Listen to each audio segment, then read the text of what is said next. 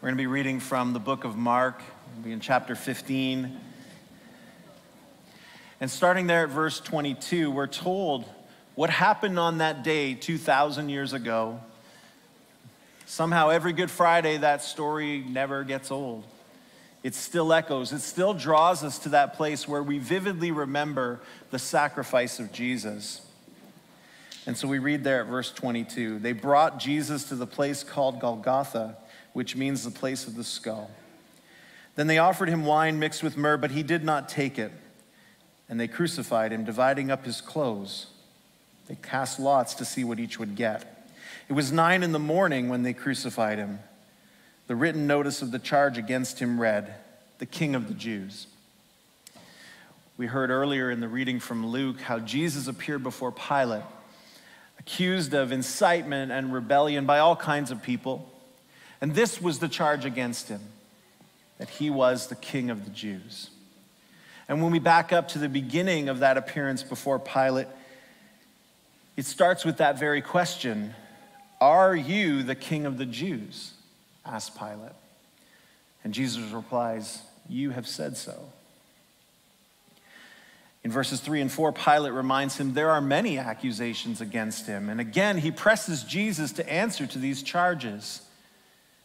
As verse 5 says, but Jesus still made no reply, and Pilate was amazed. This fulfills the prophecy in Isaiah 53 he was oppressed and afflicted, yet he did not open his mouth. He was led like a lamb to the slaughter, and as a sheep before his shearers is silent so he did not open his mouth. Look, the Lamb of God who takes away the sin of the world. And then, as we've already heard, the crowd cries out for the release of Barabbas, a convicted rebel and murderer. Pilate, looking for a way out of this, asks them one last time Do you want me to release to you the king of the Jews? And then we have this fascinating verse, verse 10.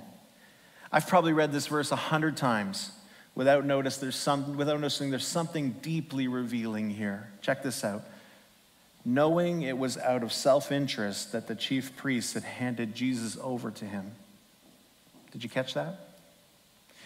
Knowing it was out of self-interest. Self-interest. The original greek uses the word envy.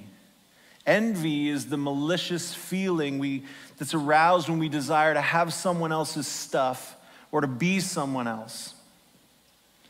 Nearly every word, everywhere that that word is used in the rest of the Bible, it's in a list of, of sin. Sin of all shapes and form. It's sin. And so in the last few months, we've often used the word autonomy, desiring our will, self rule, or self law, our way instead of God's way. We've used that word instead of sin because people don't like to hear the word sin, or they don't understand it very well. But if we're honest, we understand autonomy.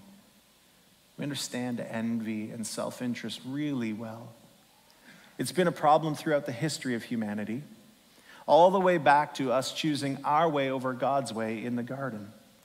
And this is what puts Jesus on the cross. Pilate asks again in verse 12, What shall I do then with the one you call the King of the Jews? Crucify him they shouted. And again, why? What crime has he committed? asked Pilate.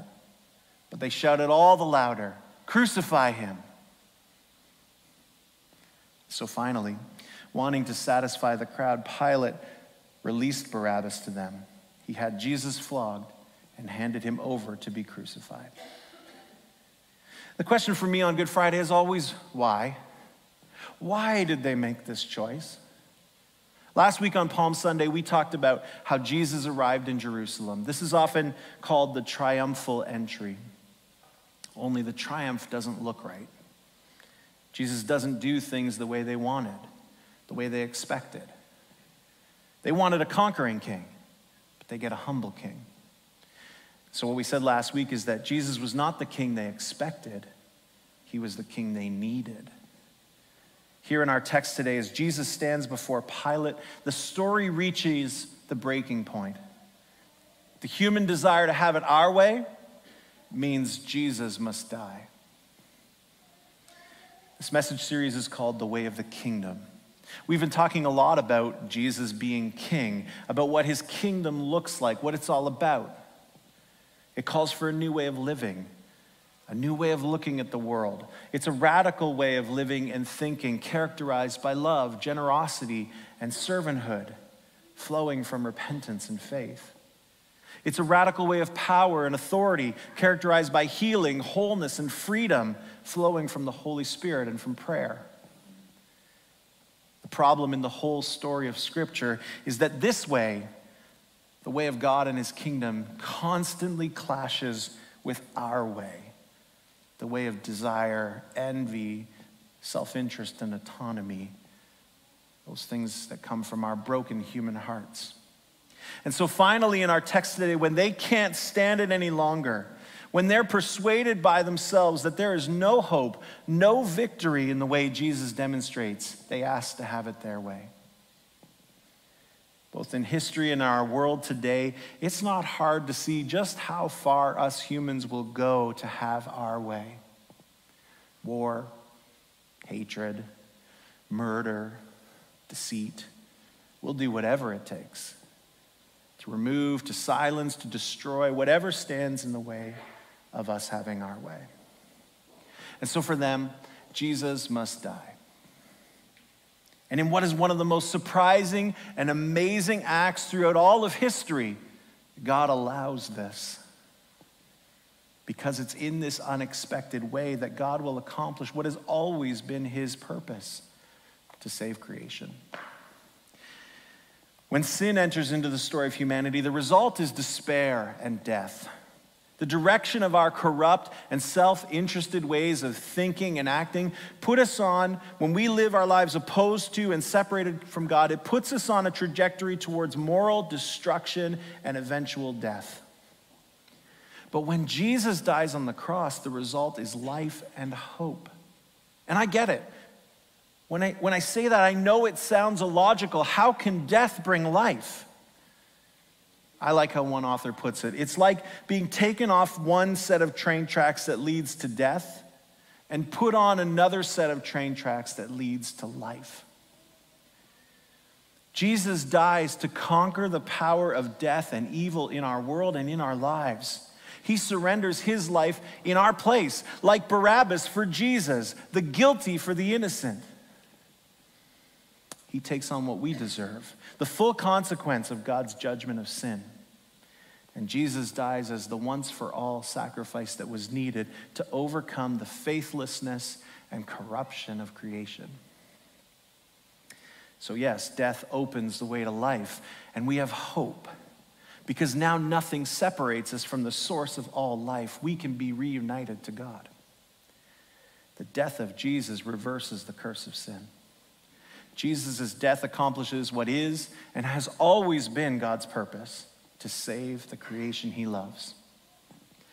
Even though we didn't want him, though we despised and rejected him, like the prophet Isaiah says, Jesus does exactly what we need most the thing we could never do on our own.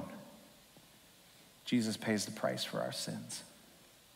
Again, we said last week, we need a king with power and authority over sin king with humility and compassion for sinners in the world. We need a king who can save us from our sins.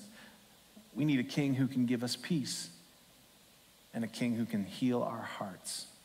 All of those outcomes are impossible without the cross. Jesus goes to the cross to fulfill every single one of those things. And finally, finally, it's fully revealed to us exactly how Jesus is the king we need. Cross reveals Jesus to be the king, the king we need.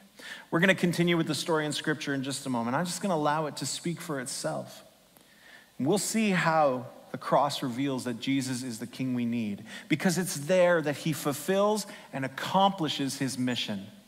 Even though this is nothing like, like what they or like what we might have wanted or might have expected, it is there at the cross where Jesus ultimately demonstrates that he is the king we need. So let's jump back into our passage in Mark. We're going to continue to read at verse 27. They crucified two rebels with him, one on his right and one on his left. Those who passed by hurled insults at him, shaking their heads and saying, So, you who are going to destroy the temple and build it in three days, come down from the cross and save yourself. In the same way, the chief priests and the teachers of the law mocked him among themselves. He saved others, they said, but he can't save himself. Let this Messiah, this King of Israel, come down now from the cross that we may see and believe. Those crucified with him, with him also heaped insults on him. You see, it makes no sense to anyone, whether they were rebels, common people, or chief priests, Jews or Romans. It makes no sense to anyone for a Messiah or a king to die like this. The cross was reserved for the worst of the worst a shameful and horrific way to die. Of course, Jesus could come down from the cross to save himself. Surely God could have rescued him. But that was not the reason Jesus was on the cross. It wasn't to save himself, it was to save them. At noon, darkness came over the whole land until three in the afternoon. And at three in the afternoon, Jesus cried out in a loud voice, Eloi, Eloi, lema sabachthani, which means, My God, my God, why have you forsaken me? When some of those standing near heard this, they said, Listen, he's calling Elijah. Someone ran, filled a sponge with wine vinegar, put it on a staff, and offered it to Jesus to drink. Now leave him alone. Let's see if Elijah comes to take him down, he said. With a loud cry, Jesus breathed his last. The curtain of the temple was torn in two from top to bottom. And when the centurion who stood there in front of Jesus saw how he died, he said, Surely this man was the Son of God. It's no coincidence, friends, that here at the moment of Jesus' death, a Roman centurion is the first human in the entire Gospel of Mark who recognizes who Jesus truly is. Surely this man was the Son of God. Son of God. Mark calls him that in the first verse of the book. The demons call him that twice. But it's not until this point, Jesus' death, that any human is able to recognize who Jesus truly is. What Jesus accomplishes in his death on the cross reveals who Jesus truly is. Jesus dies to save creation. Sin is defeated and the curtain is torn in two. The way to God, the way to life and to hope is freely open to all who, like this Roman centurion, acknowledge that Jesus is the King, the King that we need. And Good Friday calls us to remember that sacrifice, to acknowledge in confession and repentance that we too have acted as though Jesus is not the King that we wanted or needed that we've rejected him. Admitting where we've tried to follow our own ways, seeking our own desires, our own self interest, silencing the call to acknowledge that Jesus is the King, the Son of God. The second verse of the song we sang earlier, How Deep the Father's Love for Us, it, it captures the reflection we face so well today. Behold the man upon a cross, my sin upon his shoulders. Ashamed, I hear my mocking voice call out among the scoffers. It was my sin that held him there until it was accomplished. His dying breath has brought me life. I know that it is finished. Today, we again come face to face with the cross and with the sacrificial death of Jesus, which reveals so powerfully how Jesus is the king that we need. Perhaps today you would admit that need. Maybe it's for the very first time. That for all this time, you've been trying so hard to make it on your own. You've pursued success, family, material things, relationships, whatever it is. And still, somehow, those things have left a sense of emptiness. That something's missing because there's nothing in this world that can meet the deepest need and longing of your soul to be united in relationship to God, the one who created you, who created everything the one who has purpose and a plan for your life. If that's you, I want to tell you that Jesus is the king you need. That you can turn to him today in faith and repentance, and he will fill you with his spirit and give you hope, new purpose, and a wonderful meaning for your life. If that's you today, please don't leave this morning without speaking with one of our staff team, speaking with someone at the Welcome Center, or filling out a connection card online. Maybe today you've already made that decision to follow Jesus, but there's parts of your life where he hasn't broken through.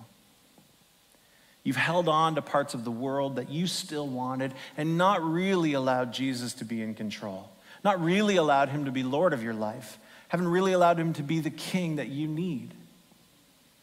But if that's you, I want to tell you that Jesus is the king you need.